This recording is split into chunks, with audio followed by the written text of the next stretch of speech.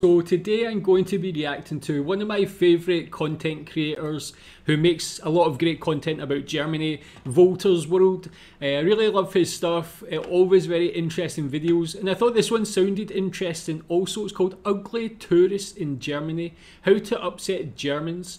So yeah, really interested to see what things like, basically what things tourists shouldn't do, what things tourists do that annoy German people. If you're from Germany, tell me what sort of things tourists do that annoy you. I'm really interested to know and can't wait to see what he's got to say about it, so let's check it Travelers, out. Mark here with Wolters World, and today we're in Freiburg, Germany, and today we're going to talk Freiburg. about how you could upset Germans when you come here as a traveler, because we want to make sure we're ingratiating ourselves to locals, and we don't want to do the faux pas that might make our German friends a bit ärgerlich, a little upset, okay? And I think the first thing you need to realize, the first way you can upset a German is just being late.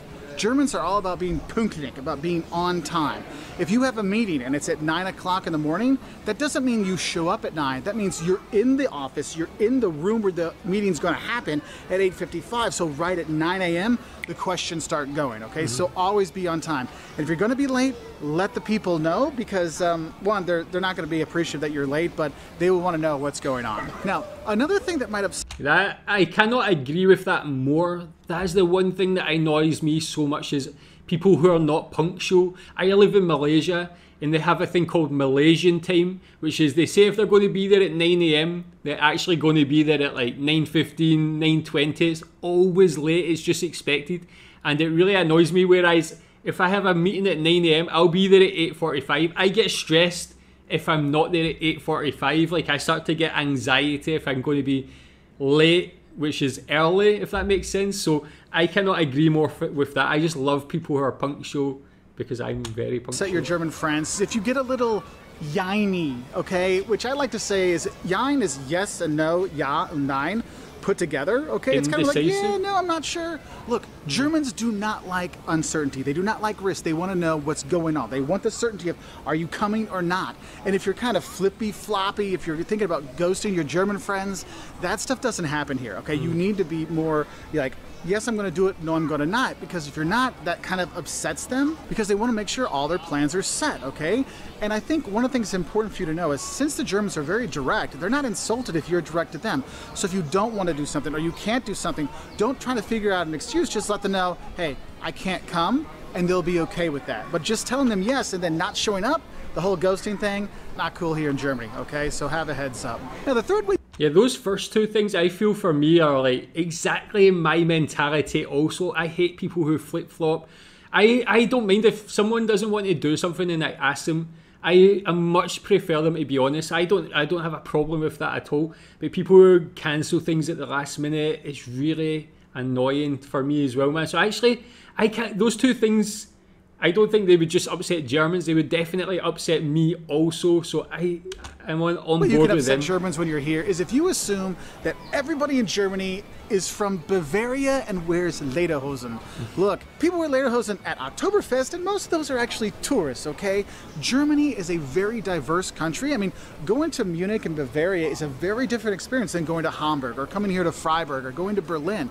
You have such variety in this country that when they think that people are thinking they're all the same and they're all Bavarians with the big beer steins and stuff, that doesn't go over very well. And if you actually know Germans, you'll know that if they're not from Bavaria, they like to make fun of the Bavarians. Now, another thing that, that tourists true? do that might upset the locals, and uh, definitely. Yeah, I, again, with that, I think that's fair enough. It's like saying if everybody in the UK expecting them to be like people from London or something, and not taking into consideration the unique personalities and cultures of the different areas of the UK. And after researching Germany and watching these videos, I know that Germany is a lot more diverse when it comes to the different regions of uh, Germany. The interesting thing for me is is Bavaria and how that culture of Bavaria is so uh, so well known around the world and how that is the German stereotype. It's very interesting to me that that one region somehow exported their culture and make, made their culture the most well known. I think someone mentioned that US, a lot of US soldiers were based there and they took some of the culture back, and that's how it became in sort of mainstream in in other Western countries. Uh, so tell me what you think about that, and tell me if that annoys you as someone from outside Bavaria. upset a few omas, grandmas, and opas, grandpas along the way is if you jaywalk. And when I talk about jaywalking, I'm not saying like the middle of the road. I'm saying when you're at the crosswalk and the, the little Ampelmännchen, the, the, the street light guy is there telling you don't walk, and you go. I mean, I lived in Germany for a number of years, and when I've done that, like people really put their arm out and stop me, and they're like, "What are you doing?" Sein Vorbild für die Kinder, be an example for the children. I'm like, there's no kids around here. There's no cars. What's going on? No, follow the rules. Otherwise, they're going to be upset. And, and, and, crossing the street against the light is one of those things. There's even a saying, "Bei Rot musst du stehen, bei Grün darfst du gehen," which is by red you have to stay, but by green you're allowed to go. All right. So just know that, young, old, male, female, whatever. You just know the Germans are like, no, no, we're going to wait until the light lets us go, okay? Another That's thing that might enough. upset your German friends when you're here, and this is one thing that my students that have studied in Germany have brought up to me, and when I've had students that work with German exchange students, and, and that is, you might upset them if you don't agree with them on certain things because Germans like to do a lot of research. They want to make sure they know as much as they can before they make decisions so they feel that they have the best answer possible. And if you don't agree with them, they don't understand why you wouldn't because they've done all this research. So that's where I've seen in business settings and group project settings where people have gotten some upset feelings from both the Germans and from the locals. So just have a heads up with that. But don't mm. think the Germans are all stiff and, and, and no fun. They will do parties. They will have a fun time with the party.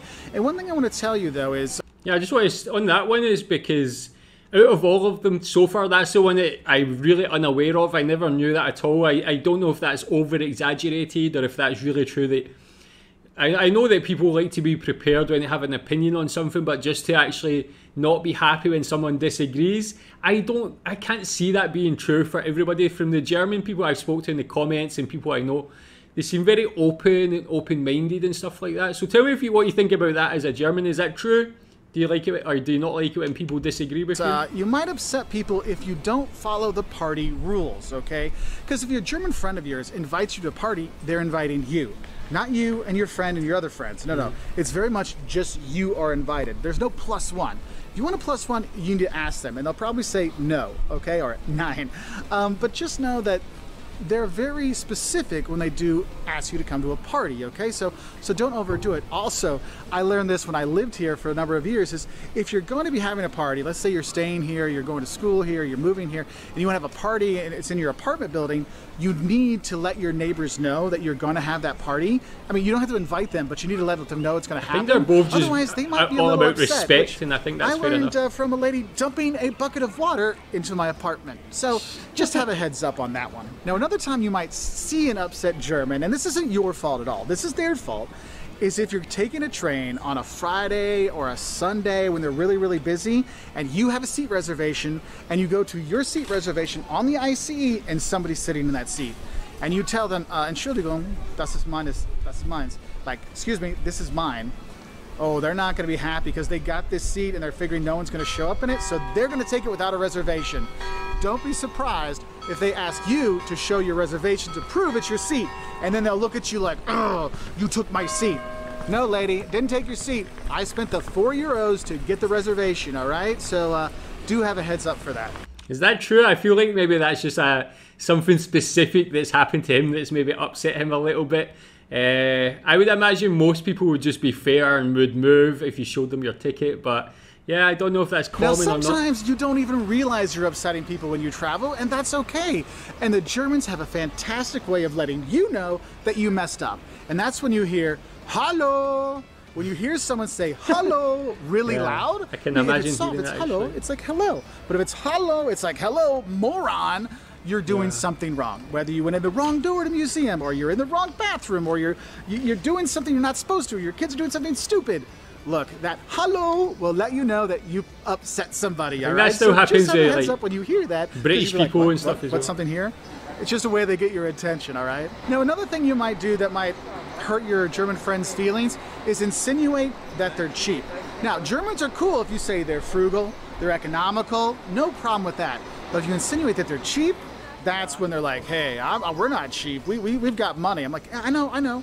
But the thing is, is if you talk to, you know, in Canada and the US, you talk to waiters about tipping, they don't like German tourists because they don't tip as well. they leave some money, but they don't usually, usually leave the 50 to 20% like you're supposed to. They'll leave like 5% or $3 on a $100 bill, you know? So it is one of those things that if you insinuate like, dude, that's kind of cheap, you'll see them be upset. And I'm sure in the comments below, you, will see those things there.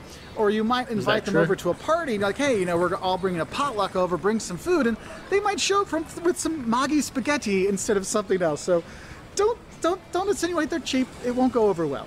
Yeah, I think it's that's all about like terminology and how you use. It. If you say to anybody from any country you're cheap, I think that's quite abrupt and quite offensive in a way. If you say, I don't think many people would actually call someone else cheap unless it's for a joke with your friend, and by that time they'll probably just be like, okay, yeah, it's funny, whatever. But I think that is common in every language and every nationality. I feel like calling someone cheap is offensive. Calling them frugal, especially being from Scotland, I am cheap, man. I'm frugal. Uh, I wouldn't right? mind Just being called Very economical choice, very frugal choice, smart business move. Okay, so have a heads up with that. Now, another thing that you'll learn very quickly is a way you're going to upset your German friends is if you try to take their food or their drink. Because you know, in some countries, when you order food, like everybody's food's kind of everybody else's, and we can try this. Like we're in Italy, like oh, try this, have some of this, have some of this polenta. Portugal, it's like every plate is everybody's, right? In Germany, it's not that way. That's my bratwurst. That is my spätzle. That is my beer. You don't get it.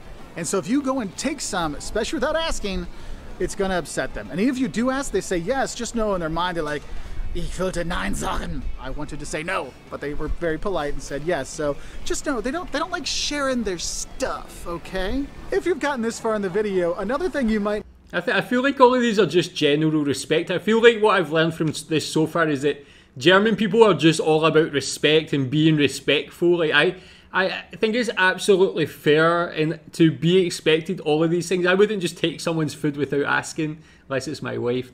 I might do that, but just friends and things, you're always going to ask. It's just about respect. I notice that know? Germans might not like and that you might upset them with is if you point out any of the eccentricities of the Germans and German culture. So look in the comments below and you'll notice some comments of people like pointing out some things I'm messing up and how they're going to be right about it, okay? Now, another way you might upset Germans when you come here is if you recycle wrong. I mean, I lived here a number of years and the recycle program here is legit. The Grüne Punkt, it's like this little like arrow going around. It's called the green point. Mm. They have lots and lots of different kinds recycling here. So it's not just paper and plastic, it's paper, plastic, glass, different kinds of glass, all kinds of stuff that's out there. They have that set up and people are very serious about it. So you want to make sure you're putting the right stuff in the right recycle bin and the right garbage going in the right place because they do a really good job with that and it really upsets people when you don't. And there's things economically that will get you to incentivize you to make sure recycling correctly because they have these things called a Pfand, a mm. deposit like on beer glasses and, or sorry, yeah, beer glasses, but like beer bottles and soda bottles and stuff like that. So you don't just throw it away, you take it back, get your money back so they can recycle it easier. Okay, so be aware of that one. Now, That's one thing I wanted to ask about that as well, is because they're bringing that in in the UK and in Scotland, and there's a lot of debate about it whether it's a good thing or a bad thing because actually it's going to require that all the prices or prices of all drinks are going to be increased by a little bit. Is that the same in Germany because you have that refund system? Or the, is the cost of actually buying the beverage higher to begin with than it would be? Now, my next one for you that might upset the Germans when you're here is if you drive in Germany not like a German. Look, Germans are very much, we're about our auto, our car, right? And so they've got the Autobahn. When they're going way faster than you think you are, so move over. Because you staying in the left lane, that Indiana drivers, you can't do that here in Germany. You got to stay to the right because people will pass you by. No matter how fast you think you're going, someone else is going to zoom past you in a Porsche, a BMW, or Mercedes, all right? And the Germans do get upset when people don't drive the German way when they're here. So I do recommend maybe take a class about driving or watch some videos on driving in Germany before you come because then you'll be better prepared and less likely to upset and get not necessarily road rage, but just upset Germans driving next to you. And also uh, don't expect a really good cup holder for your, your big gulp in a German car. And they don't understand why, okay? So, so leave that there, all right? And then I want to finish off by another thing that really upsets Germans, and that is if you make Nazi jokes, okay, the Nazi, the history of Germany and the Nazi National Socialist Party that was in power here for a number of years, and World War II and the Holocaust and everything, is a horrible, it is a stain on the world history, not just German history, but the world's history. And if you make light of that, you make Nazi jokes, you make Hitler jokes and stuff like that, that does not go over well here. People mm. do not like that. That is that is something that they're ashamed of themselves. And and you may think you're, oh, it's a fun joke. I'm poking fun at things. It's not. It is not something that you joke about when you are here, okay? Because that I can't will believe upset people would actually do And I just want you to know that. All right. So those are some ways that you might upset your German friends when you're here in Germany. But what are some ways you've accidentally upset some of your German friends? Let us know in the comment section below. Yeah, tell me. Yeah, the last one with regards to making Nazi jokes. If you're German, has anyone actually did that in your company? I just can't believe people would be so naive or so disrespectful to do that. Like it just maybe being from Europe or being from the UK, we understand the kind of how that would be or how that would be perceived by someone German and it would be upsetting. Uh, maybe people from other regions around the world might not know about it or might not have that same uh, knowledge and uh, yeah, like feeling about it. So tell me about that. But tell me if these things upset you as a German. Tell me what you think about these. What if not? What does upset you as a German? I'm interested to know. Thanks.